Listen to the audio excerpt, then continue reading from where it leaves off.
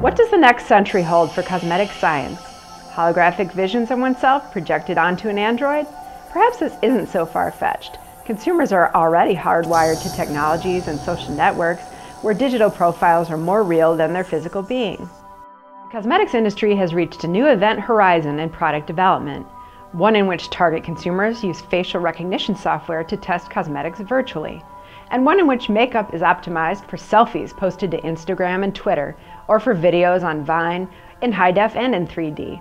These consumers are at the core of the rise of the geeks phenomenon, plugging into tech trends, science findings, and social causes. And it is in this environment where the cosmetics industry faces upgrading innovation to meet the high expectations of these digicentric consumers. It's a good thing cosmetic scientists are also consumers, and many of them are into these same tech trends.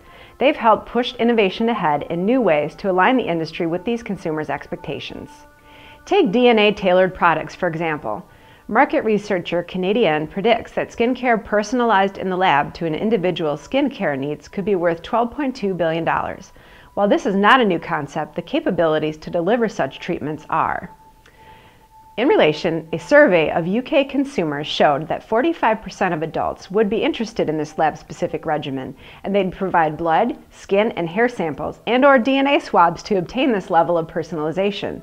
Furthermore, they were prepared to wait up to one month to receive the products, and 59% were prepared to pay premium prices. According to Canadean analysts, with the development of new technologies, manufacturers could take this personalization to a whole new level, incorporating allergies, genetic dispositions, nutrition, climate, and sun exposure considerations.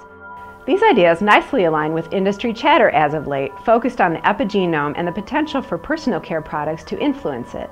Hello, are you still there? The present collection of articles provides forward-looking approaches to test the penetration of actives into skin, formulate new sensory effects and textures, and simultaneously prevent and reverse the signs of aging, among others.